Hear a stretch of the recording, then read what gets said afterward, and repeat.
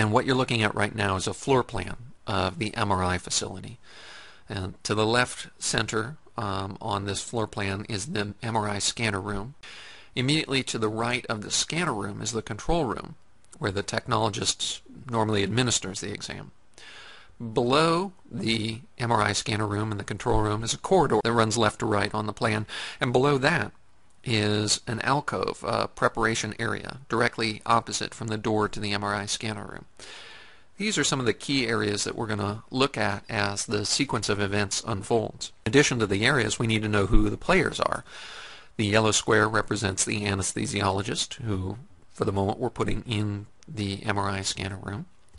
The blue star represents the boy, Michael Colombini, the patient um, in this particular accident. The purple rounded squares uh, represent the technologist. The one kind of lower down and to the left is the technologist at the console who was to run the exam, and the one above and to the right is the technologist who was working on post-processing for an earlier study from that day. So the boy is brought from the patient rooms um, down to the preparation area where the anesthesiologist sedates him initially, and he is then moved into the MRI scanner. The boy's still agitated. He gets another dose of sedative. Uh, the anesthesiologist sets him up with a uh, cannula to deliver supplemental oxygen and a pulse oximeter.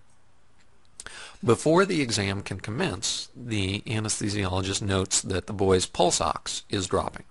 So he goes to increase the flow rate of the oxygen going to the cannula.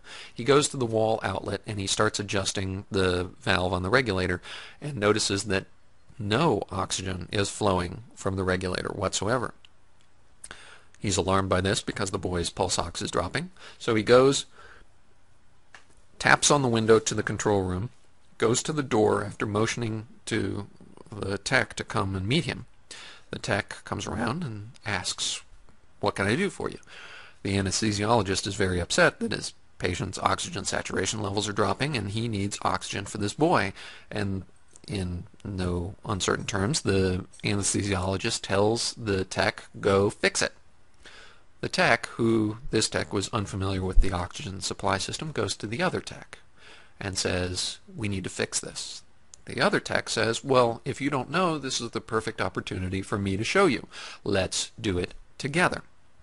So the two of them enter the MRI equipment room, which, with its fans and pumps and all of the stuff making noise, as soon as they step in, they are acoustically separated from everything else that occurs in the facility.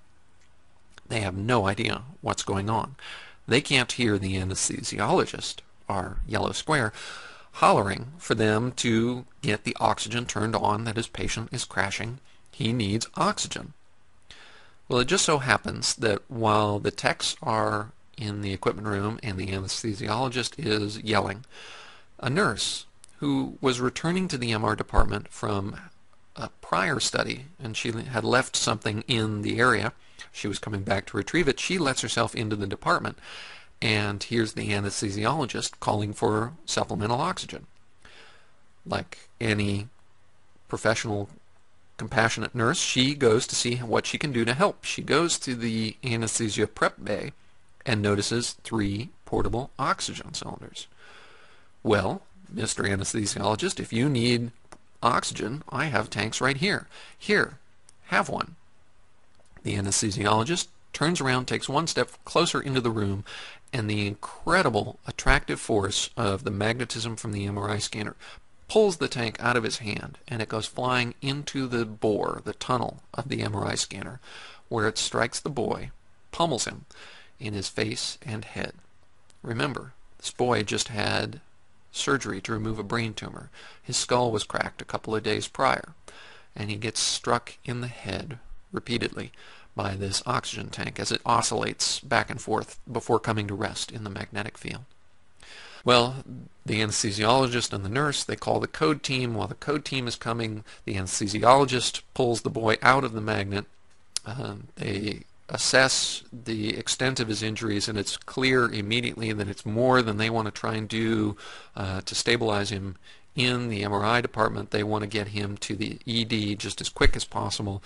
And while all of this is transpiring, the two technologists come out of the equipment room to say, We fixed the oxygen. And one of the first things they see is the anesthesiologist covered in the boy's blood from removing him from the MRI.